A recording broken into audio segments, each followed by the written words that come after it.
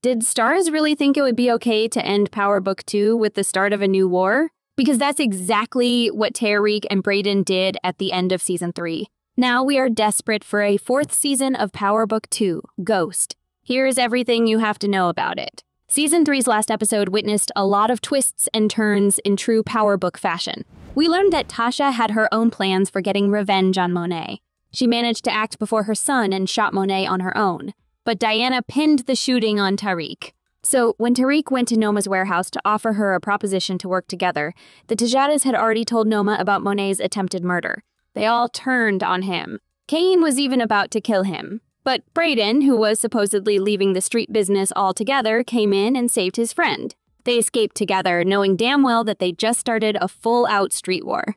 With Monet in the hospital and Tariq on the brink of a new war, Power Book 2's ending did not disappoint. It was definitely an open ending, which means the story can continue in one way or another. But will it?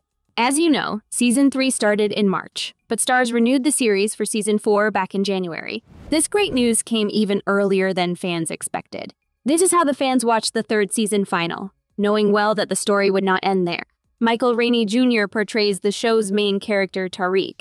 He recently gave us an update about the show's future. He specifically said that the wait for season 4 won't be as long as the wait between seasons 2 and 3. If you remember, viewers had to wait 16 months between the second and third seasons.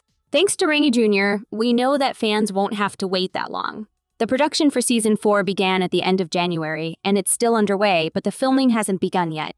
We believe they are currently writing the script and casting new actors for season four.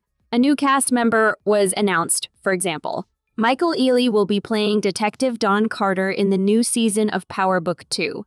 Don will be a rising NYPD officer who lost his wife in the crossfire between two rival drug gangs. His character description reads Vowing to make the streets safer, Carter traded in his tie for a Kevlar vest and now leads an elite NYPD drug task force that elicits concrete results against drug related violence. While his achievements are noteworthy public recognition, nothing can bring back his lost love. We have yet to receive official proof of season 4 filming being underway.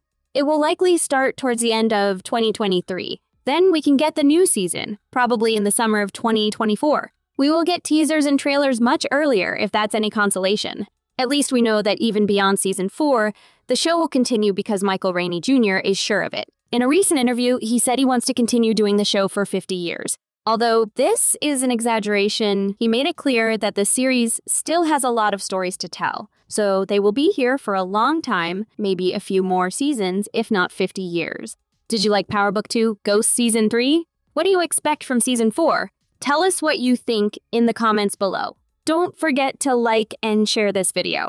Subscribe to our channel for more videos like this. See you soon.